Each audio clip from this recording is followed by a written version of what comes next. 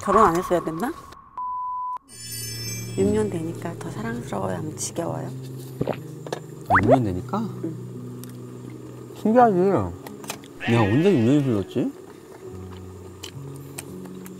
내가 6년 동안 한 게 여보 괴롭히고 군대 2년 있고 여보 돈 까먹고 그런 얘기 좀 하지 마요. 주식으로 돈 날리고 정신 못 차리고 얼쑤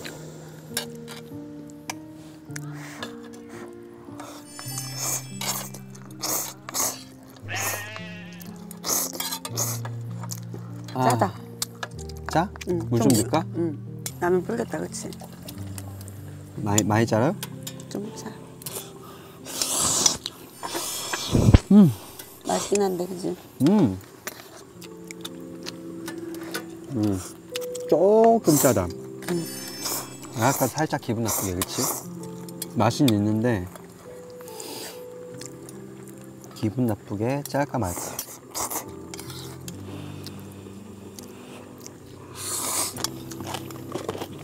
내가 엄청 바쁘네. 공부도 해야 되고. 방송.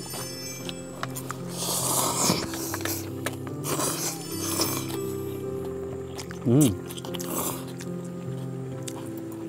근데 지금 늦은 밤은 아니라 다행이야. 아, 근데 너무 맛있다. 짜게 맛있다.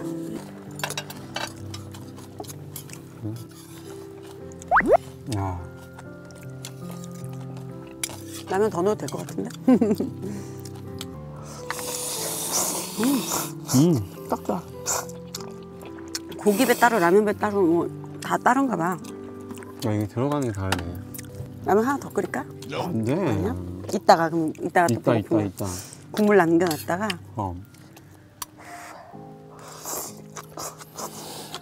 야, 너무 좋다. 이 이렇게 밖에서 이틀 잔다 하- 하루도 잔 적 없지만 이틀은 처음이야. 아니 근데 너 되게 하루가 길게 느껴지는 거 알아? 캠핑장 오니까? 난 아닌데 금방 갔는데.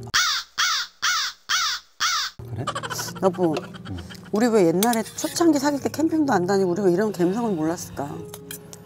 내가 나이가 나이가 나이인지라 아니, 그런 여유가 없잖아. 좋은 데 말고 우리 맨날 호텔 막 좋은 데 이런 데 찾아다니잖아. 이렇게 와서 고생을 해보면서 여보 성격을 파악하고 근데 결혼 안 했어야 됐나? 여, 여보 그 여보랑 같이 해외여행을 다니면서도 응, 내가 여유가 없어서 그런지 응. 진짜 여행을 즐기지를 못했어. 돈 쓰는 거 걱정하고 음, 네.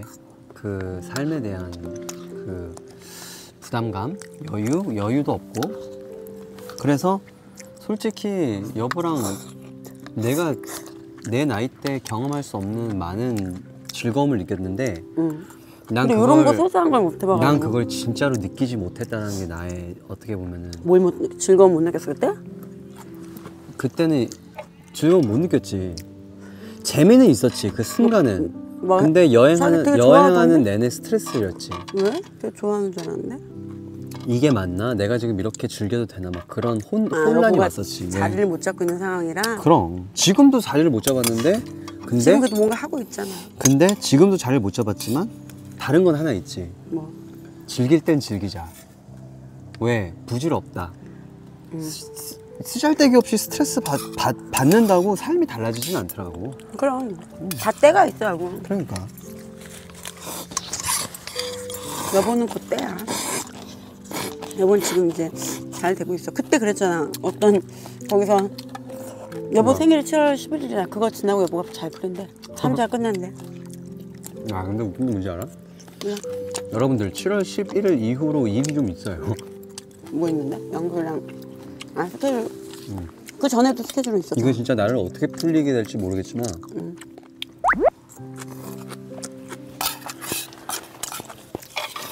이렇게 맛있어. 없다면. 적당히 물어. 이따 또 끓여 먹자.